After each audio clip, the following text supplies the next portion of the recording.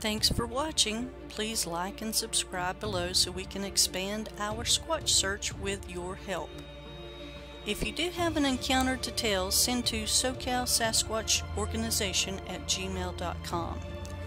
We now have SCSO Keep On Squatchin t-shirts available. See link in description below.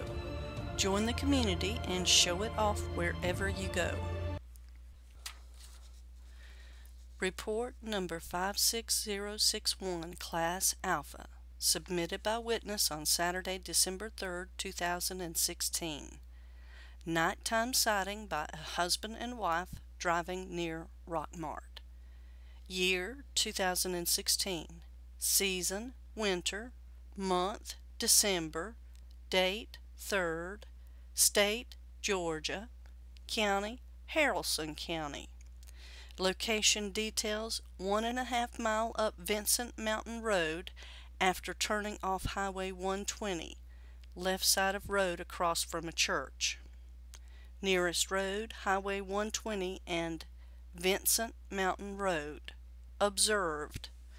On our way home to Rockmart, Georgia from Birmingham, Alabama, we were following the directions the GPS gave for the distance. This brought us to Highway 120 and Vincent Mountain Road.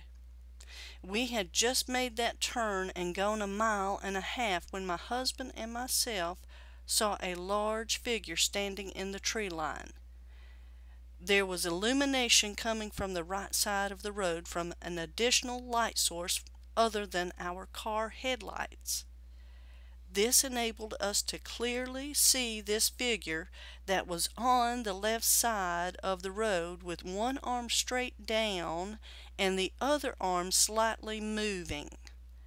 I believe that arm movement is what caught our attention, making us both look to our left clearly, allowing us both to view this creature.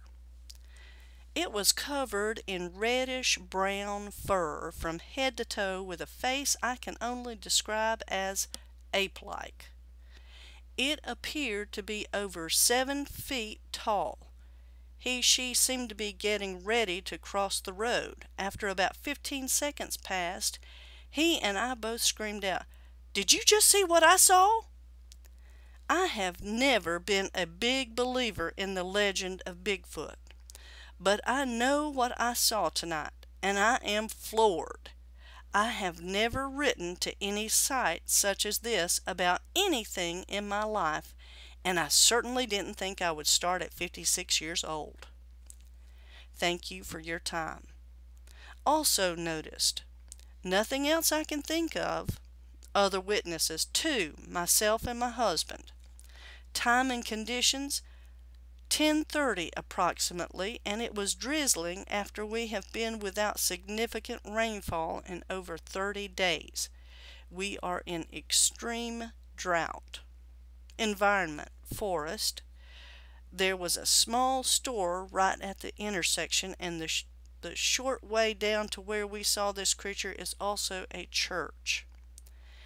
I think the floodlight from the church was where the backup backlight came allowing us to see the creature.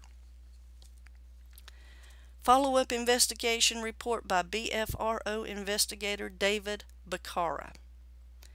I spoke with both witnesses and they both seemed level-headed and still excited about what they had seen that night. It was approximately 10:30 p.m. when both witnesses and their 20-year-old daughter, sleeping in the back seat, were headed home to Rockmart, Georgia from Birmingham, Alabama on the night of December 3rd, 2016. It was raining a light drizzle, which was a welcome change as Georgia is in the midst of a statewide drought. It was the first sign of any precipitation in two months. After turning onto Vincent Mountain Road and traveling approximately one and a half miles, the wife noticed a slight movement on the left side of the road. It was approximately 50 feet ahead, and the car was traveling at 45 miles per hour. It was slightly illuminated from the parking lots lights from a church directly across the street. The witnesses stated if it wasn't for the slight movement it made, they may not have seen it.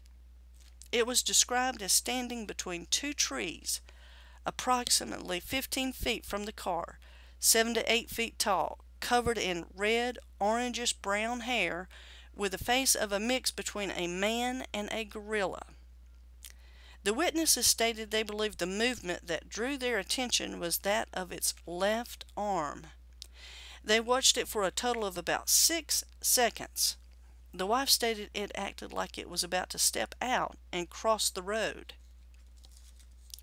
The creature watched the couple go by as they observed it. As they passed it, the wife was able to look back through the rear glass as it was still in the church lights. It wasn't until they had drove down the road about another mile that the husband asked if she had seen anything back there. They both agreed immediately they had just seen a Bigfoot. These witnesses stated that they can't imagine it was anything else as it was too tall to be a person in costume. Report number 57884 Class Alpha, submitted by witness on Saturday, July 15, 2017. Nighttime road crossing outside Parrish. Year 2017. Season summer. Month July. Date 10th. State Florida. County Manatee County. Location details wooded to the right side of the road where it exited the highway. Nearest town Parrish, Nearest road Highway 62. Observed Monday, July 10th, 2017, 5:15 a.m. while driving home from an all-night fishing trip at Tampa Bay, we were about 2 miles outside of Parrish, Florida. There was a car ahead of us and we were about 10 car lengths behind. This creature waited for the car ahead of us to pass and ran across between our two cars. It was running upright on two legs. It was huge and fast. It didn't have the shoulder motion that a human has when they run, Manatee Sheriff contacted. Also noticed, the shoulders didn't swing or move when it ran, very short or no neck. Only seen the feet hit twice and it was in the grass and gone. Other witnesses, two saw it, three smelled it, but four in our vehicle. Granddaughter was asleep. Other stories talked to the Manatee Sheriff and they said there are reports from time to time. we live in a neighboring county. We are not familiar with that area. Time and conditions 5:15 a.m. Environment woods. Follow-up investigation report by BFRO investigator R. Monteith. On the early morning of July 10th, before sunrise, the family, mom, dad, adult son, and granddaughter were driving eastbound on Highway 62 after a night of fishing on Tampa Bay. They were outside Parrish when a large bipedal figure crossed the road about 10 car lengths ahead of them, left to right. They were able to see the figure in the tail lights of the car in front of them and their own headlights. The car immediately was filled with a horrible smell. The mom and dad in the front seat saw the figure. The passengers in the back did not, however, they did smell the odor. The car was traveling at about 70 miles per hour, and both witnesses claim it showed intelligence as it waited for the first car to pass and quickly crossed the road in two big steps. There were no street lights. The Bigfoot was dark in color, running stiffly without any arm swing in the car's high beam lights. The dad said it had been had very long legs. Both witnesses spoke over each other, describing odor as a strange mix of polecat, musky, swamp water, and sulfur. On the morning of the crossing, the mom called the Manatee County Sheriff's Office to report it and spoke to a deputy who admitted they have calls like this from time to time in that area. BFRO investigator investigator David Bacara and myself, as well as other Florida investigators, have spoken to the couple about this incident.